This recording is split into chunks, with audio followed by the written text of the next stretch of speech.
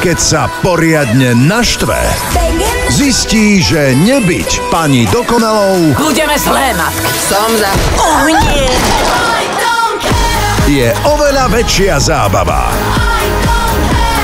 Mila Kunis. Schop sa ty, úbožiak. V odviazanej komédii To bol jednoznačne najlepší deň môjho života. Matky rebelky. V útorok o 20.35 na Jojke.